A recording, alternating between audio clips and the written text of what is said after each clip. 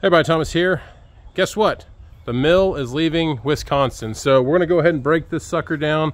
I've got the tractor ready to be hooked up. We gotta start lowering everything down.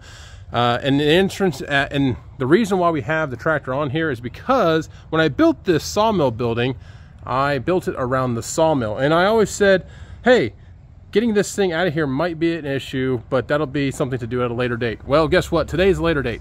I'm gonna have to drive the tractor all the way into the woods there, into those couple trees, uh, probably disconnect it, then use the tractor to tilt the sawmill over. It's gonna be awesome. So this is gonna be fun. Uh, we're gonna go ahead and break this thing down. I'm gonna put on time lapse and hopefully my battery will last because I'm about 15% battery, but uh, we'll, we'll see what we can do. We're gonna throw in a time lapse, break everything down. We're gonna start by moving the saw head back to the correct position. We'll lift up, uh, the arms here. Then we're gonna start breaking down the jacks and everything, get it onto the tractor. And we're really gonna be going as fast as we can because the mosquitoes out here are atrocious.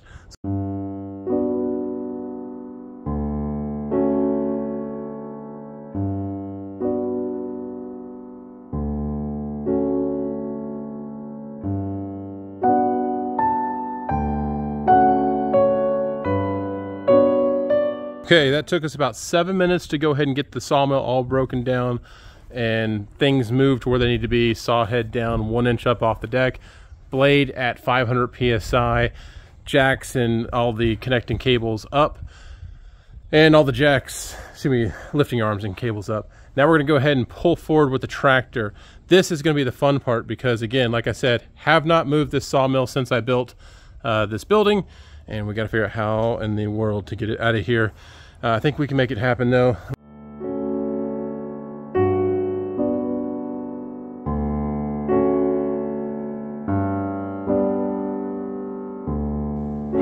when I say mosquitoes are bad, I hope you can see this. Let's see if I can get them in the sunlight.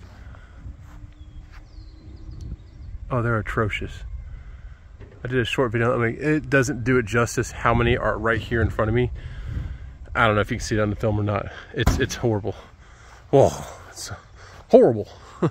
okay, so we've got the sawmill in here. The reason we put it in here is because there is a storm rolling in tonight. However, tomorrow when my dad's on the road, looking like it's gonna be all clear skies.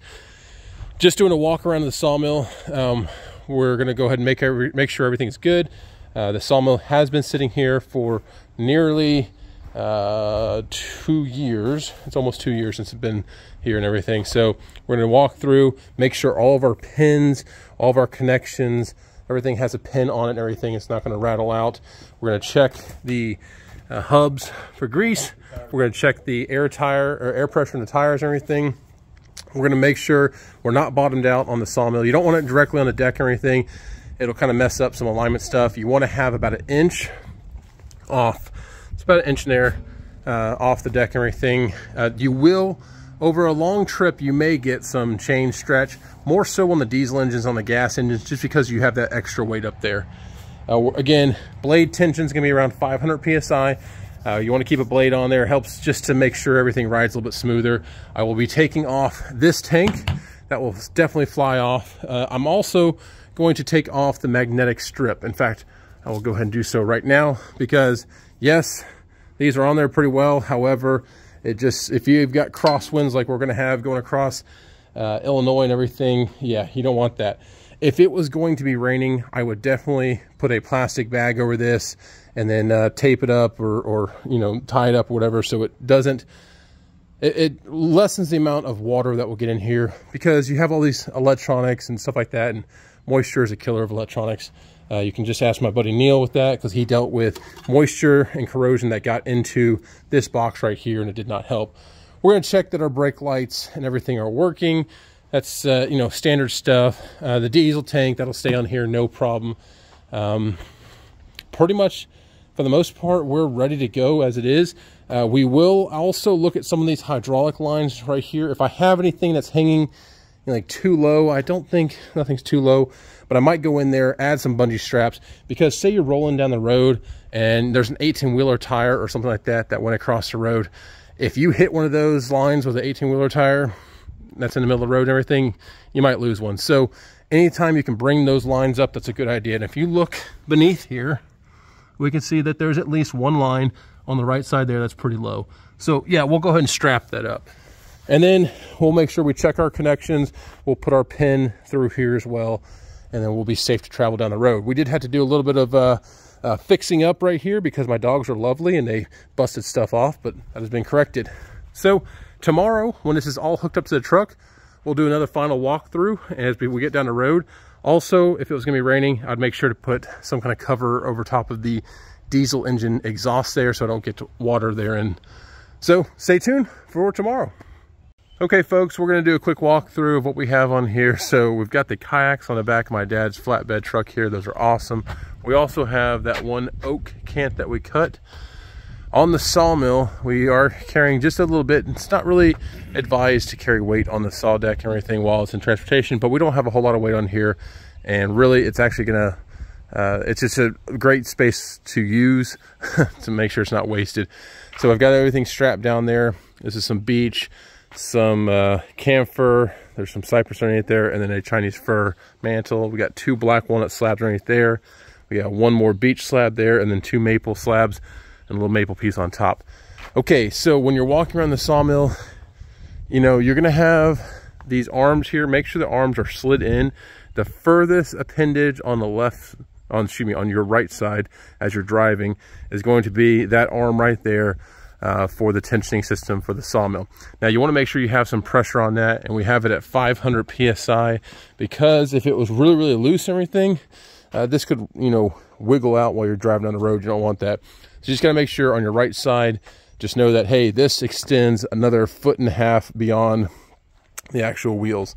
The wheels, we went ahead and, and uh, added the, or this tire, excuse me, we added the uh, air to them. Recommend 80 PSI cold we put 75 in there. That should be ample for what we need. Also, like talked about yesterday, your clearance right there is about an inch or so. You, you don't really want to bottom out the sawmill in transit. You want to make sure that you have about an inch or so above the deck. You don't want to be super high either because you have all this high weight. High weight is bad weight. Uh, it could help for uh, toppling over and stuff like that. A little more so on the diesel than on the gas engine because also that diesel engine is quite a bit heavier. Uh, we went ahead here. We're not going to bag up anything because we're um, transiting during, you know, nice clear days, no rain, stuff like that. But, you know, of course, secure your box. Just make sure there's no, uh, you know, tools or anything hanging on the deck there. I had to remove any little pieces and parts that might come off, uh, especially the water tank, which I use uh, diesel or the biolubin and also your lowest appendage. Now I talked about this yesterday. If you look up underneath here, our lowest appendage is no longer our lowest appendage. It is now essentially the axle will be the lowest appendage. And what I did is I went ahead and tied up all of that right there. So that was the one hydraulic line that was hanging down pretty low. I made sure to tie that up. So again, now my axle is the lowest appendage and everything else looks pretty clean up underneath here. So very happy with that. And then lastly, always make sure, well not lastly, two more things. Make sure you have these chains on here. You don't want these arms to slip out. You have the chains down there as well. Uh, but the last thing here is make sure that your connections are all made. This is a two and five eighths ball or five sixteenth, whatever the size is. It's it's the larger of the balls and everything. Uh, we went ahead added, of course, your chains, your uh, freaking uh, connection there for your lights and everything. And I didn't have any other pin but this right here, but you want to make sure you, you put a pin on there. That's just, that's just a peace of mind kind of thing. Unfortunately, our breakaway brake here, uh, the dogs did a great job at, uh, you know, cutting some cables on that. So that will not be used. Um, but we'll, we'll get that fixed when we get back down to uh, Tennessee. But other than that, everything else looks pretty good. A little bit of wood there on the deck. And excited. Oh, there is one other thing I did. I had my son get up on top here. And I said, hey, go ahead and tape up that exhaust right there. Now, when you get this from TimberKing, it usually comes with a flapper on top of that. I can't stand a flapper, so I take this off. But just in case, depending on how long this is going to sit for, I don't want any critters or anything getting up in there. So I had him go ahead and tape that up. And I just have to remember y'all can help me remember too. When I first crank this thing up, make sure to take that off because there's gonna be a lot of pressure built up in there if I don't. But uh, yeah, that's it. oh, I continue to say there's one more thing. There is one more thing. So I went ahead and tightened down these bolts here and everything, but I added this strap across here as well. Reason is, one of my buddies, Mr. Jack Hudson down there in Mississippi, he travels with his sawmill all of the time. One of these nuts that is welded onto this bolt right here broke off. And it happened while he was driving down the road. Only one side, thank goodness, there's two on there, so you have some redundancy and everything. But always, I like to put a little strap on there. You gotta make sure you clear your hydraulic lines. You don't wanna have it uh, crimping down in hydraulic lines. But that's just an extra protection to help keep her in place and to make sure she doesn't come off. And I believe that is it. So if you see this going down the road through Illinois, my dad's gonna be driving looking like uh, the wood baron kayak dude going down the road. So yeah, we're very excited to get down to Tennessee. I uh, cannot wait. I've got about another three and a half weeks up here before we actually head down to Tennessee as well but uh, very much looking forward to it and cannot wait to get this sawmill set up to start working on the new house down there because it's going to be amazing folks we're going to do some wild stuff we're going to actually go full out remodel this house and we're going to use a lot of wood that we cut on the sawmills and everything to make it a very unique uh, house mostly in the master bedroom some stuff in the bathrooms and then uh, some of the studs you'll be interested to see what we replace some of these studs with all right please like and subscribe very much looking forward to uh, any comments that people may have and everything. And gonna wish my dad a safe trip down to Tennessee. And my next trip will be hauling down my final trip. I've got one kayak left. I got my big trailer. I've got the tractor and I think we got like the lawnmower and some other stuff. But yeah, very, very short time. So we'll see you around. Thanks. All right. So he is heading down the road. Do my last little visual Make sure everything looks good on the sawmill. Yeah. Yep, lights work. You're good. I just ate a mosquito. Yeah, good times. That's my baby right there. All right, folks. Well, y'all have a great day. I'm uh, gonna be sad seeing that sawmill go down the road. I won't have that up here for a little bit, but that's okay. Like I said, when we get down to Tennessee, we've got a lot of stuff going on, and I'm so excited to get down to Tennessee, folks. You have no idea. All right, until next time, safe sawing, safe travels, and uh, yeah, I'll have some other videos out here soon. Thanks.